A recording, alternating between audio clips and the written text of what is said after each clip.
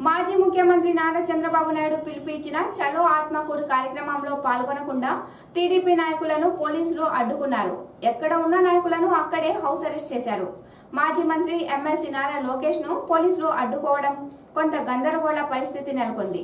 TDP నాయకులు police go back అంటూ నినాదాలు చేశారు. మీడియాతో మాట్లాడకుండా నివారించే హక్కు మీకు ఎవరిచ్చారని లోకేష్ పోలీసులను ప్రశ్నించారు. డీఎస్పీ దుర్గా ప్రసాద్ మీడియాలను లోపలికి అనుమతిస్తామని చెప్పడంతో సమస్య సర్దుమణిగింది.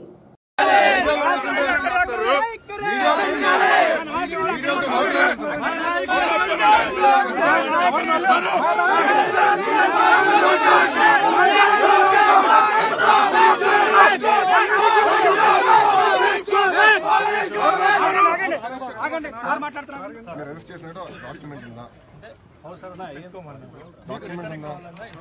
రిటర్న్ ఇవ్వండి అప్పటి వరకు you cannot it's my fundamental right సాక్ష్యాధారాలు లేకుండా మీరు ఆపలేరు. ఫార్టీ ఫోర్ ఉంది.